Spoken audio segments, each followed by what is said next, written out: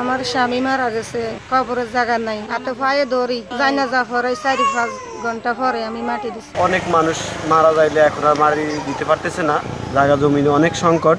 এই অসহায় মানুষগুলোর মৃত্যুবরণ করলে কবর দিতে অনেক কষ্ট হয় কবরের জায়গা নাই। প্রত্যেক মুসলমান মানুষেরই জীবনের শেষ স্বপ্ন থাকে তার মৃত্যুর পর অন্তত কবরটি যেন একটি ভালো জায়গায় হয়। যাতে অপর মুসলমান সহ তার পরিবারের সদস্যরা বিভিন্ন সময়ে কবরের পাশে গিয়ে দু হাত তুলে দোয়া করতে পারে এবং তার মৃত্যুর একটা শেষ চিহ্ন থাকে। কিন্তু স্বাভাবিক মৃত্যু হলেও কিছু ভাগ্যহত মানুষ আছে যাদের লাশ দাপন করাটাও স্বাভাবিক হয় না। বরঞ্চ তার মৃত্যুর পর পরিবারের জীবিত সদস্যরা চিন্তায় পড়ে যান তার লাশ দাপনের জায়গা খোঁজার জন্য। এতদিন ঢাকা, চট্টগ্রাম সহ বড় বড় শহরে এরকম কিছু খবর আমরা শুনে আসছিলাম। কিন্তু আমাদের লক্ষ্মীপুরে যে এমন হতভাগ্য হাজার হাজার পরিবার আছে, সে খবর হয়তো আমরা অনেকেই জানি না। যে মানুষগুলোর মৃত্যুর পর পরিবারের জীবিত সদস্যরা বেসামাল হয়ে কবরের জায়গা খুঁজতে হয়। এমনই একটি প্রতিবেদন নিয়ে আজ লক্ষ্মীপুর টোয়েন্টিফোরের সকল দর্শক বন্ধুদের সাথে আছি আমি আলাউদ্দিন সাজু। প্রতিবেদনটি তৈরি করেছেন সানাউল্লাহ সানু। লক্ষ্মীপুর রামগতি আঞ্চলিক সড়কের ভবানীগঞ্জ থেকে কমলনগর তোরাবগঞ্জ পর্যন্ত এলাকায় সড়কের পূর্ব পাশে খড়কুটা এবং টিন দিয়ে ঝুপটি ঘর তুলে বসবাস করছে কমপক্ষে দুই হাজার পরিবার।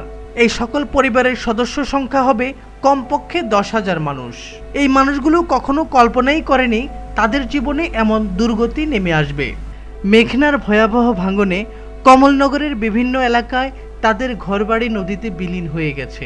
সহায় সম্পত্তি হারিয়ে তারা এখন রাস্তার পাশে বসবাস করছে।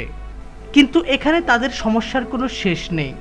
অসংখ্য সমস্যার মধ্যে অন্যতম সমস্যা হচ্ছে, এখানে কেউ মরে গেলে তার জন্য কবর খুঁজে বের করা। মৃত ব্যক্তির জন্য শোকের পরিবর্তে উল্টো কবর দেয়া নিয়ে নতুন চিন্তায় পড়েন এখানকার মানুষেরা।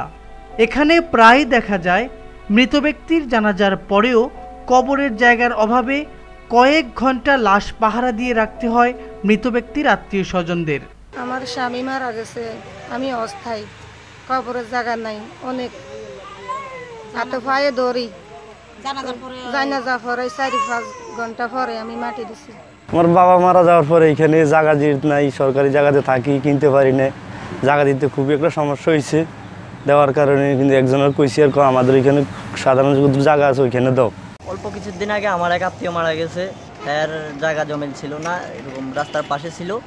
এর মাটি দেওয়ার মতো কোনো ব্যবস্থা ছিল না। জানাজার পর পরায় তিন ঘণ্টা মতো হেওয়া ছিল। অল্প কিছু জায়গা নিয়ে তারা মাটি দেওয়ার মতো কিছু জায়গা দিয়েছিল জায়গা দিয়েছিল, জায়গা তখন এই সমস্যার সমাধানে প্রশাসন ও জনপ্রতিনিধি কেউ এগিয়ে না আসায় স্থানীয় যুবক মোহাম্মদ মাহফুজুর রহমান ও মোহাম্মদ আব্দুর রহমান তাদের সাথের কমপক্ষে চল্লিশ জন বন্ধু নিয়ে গড়ে তোলেন ভূমিহীন গণকবর ও সমাজসেবা সংস্থা নামের একটি সংগঠন।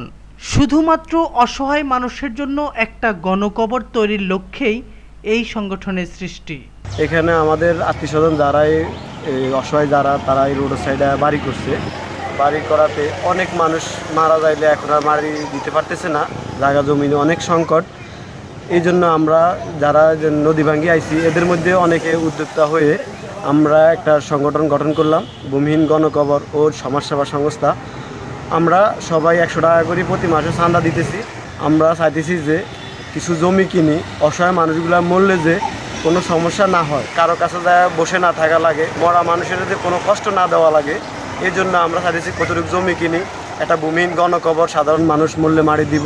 এই অসহায় মানুষগুলোর মৃত্যুবরণ করলে কবর দিতে অনেক কষ্ট হয়, কবরের জায়গা নাই। এই বিদায় আমরা কিছু জায়গা ক্রয় করার জন্য চেষ্টা করতেছি। ইনশাল্লাহ এই এলাকাতে যারা এই বিত্তশালী আছে, তাদের দৃষ্টি আকর্ষণ করছি। তারা যেন আমাদের এই সংস্থার সাথে এক, একসঙ্গে যোগ হয়ে কিছু সহযোগিতা করে এবং আমরা যেন জায়গাটা ক্রয় করতে পারি। এবং যারা রাজনীতিবিদ আছে, তাদেরকেও দৃষ্টি আকর্ষণ করছি। তারা যেন আমাদের এই নদীভাঙ্গা যে মৃত্যুবরণ করলে মাটি দিতে কষ্ট হয়, কবরের জায়গা নাই।